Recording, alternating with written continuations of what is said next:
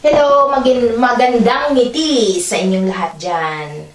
Ngiti-ngiti lang, kahit mayroong problema, oh, ngiti, smile lang, para ganang buhay.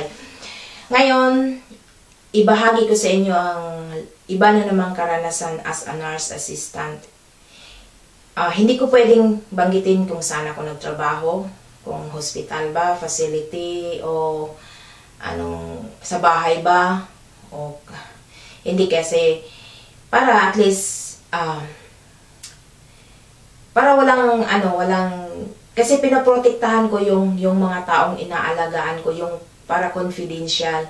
Pwede naman i-share ko yung experience ko sa pag-aalaga pero yung para hindi ma-identify sila. So hindi ko na lang babanggitin yung kung saan ako nagtrabaho.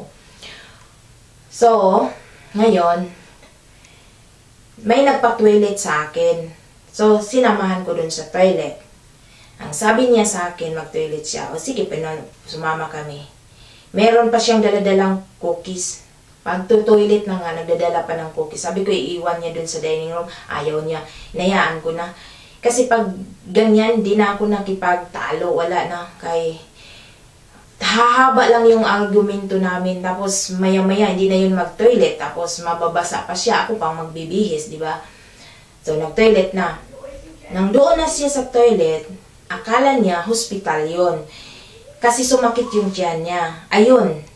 Akala naman niya, nurse ako. Kaya, o kaya doktor. Sabi niya, nurse o doktor. So, akala niya talaga na mga nganak siya. So, patulong siya sa akin. Sabi ko, hindi, hindi naman, hindi ka naman mga nganak eh. Pupunta ka lang dito sa bathroom, magto-toilet ka lang. Sabi niya, hindi, mga nganak daw siya, masakit na daw yung tiyan niya. Siguro, dudumi siya o parang, yes, alam niyo na pag sumakit yung tiyan natin na parang ibang naramdaman. Sabi niya, oh, manganganak na talaga ako. Hey, hindi ko na kaya. Sabi ko, di, ano, umiri ka. Eh, so, sinabayan ko na lang siya kasi pag hindi ko siya sinabayan, eh mag-aaway lang, mag-aaway lang. Eh, wala namang mawawala kung sasabayan lang. Kasi sila, nabubuhay sila sa kung ano yung pinaniniwalaan niya. Kung ano yung present nila. Ganun na yun. Wala nang past-past. Wala. Wala ding future yata. Wala. Basta yung present lang. So, sabi ko, one, two, three, ere. So, umiri din siya. Parang, uh, ayun, lumabas. Yun na ang problema kasi lumabas. Eh, hindi naman yun bata, di ba?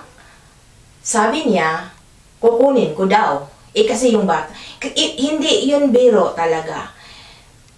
I, I can't explain, explain kasi hindi naman ako doktor. Hindi rin ako nurse na. Hindi rin ako clinical teacher. Hindi ko masyadong ma-explain.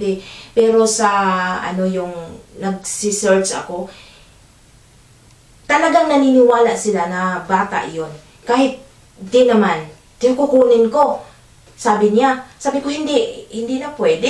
Kukunin, ibang usapan na yun, no? so, sabi ko, hindi naman talaga ako tumawa.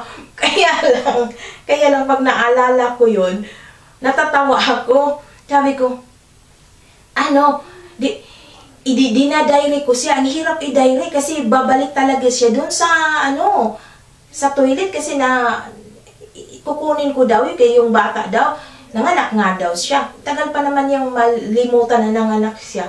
So, meron man siyang daladalang cookie, sabi ko, Uy, kanino yan? Ang parang, parang ang sarap niyan. Sabi niya, oo, galing to sa ano, sa anak ko. Ayun, nagkwentuhan na kami. Uh, kailan dumating yung anak niya, yung, yung mga ganong-ganong bagay. Tapos yun, nilinisan ko siya. Ako ang maglilinis sa kanya sa ano, yung, yung, yung pagpupunas niyo ako kasi hindi na, hindi naman siya capable na mag, pwede siya makatayo, makaturn, makaupo sa, pero hindi na siya, ano eh, hindi na siya capable na maglinis sa sarili niya. So ako naglilinis, at least nalinisan ko na na, tapos na, ay, nalimutan na niya na nanganak siya. Thank you.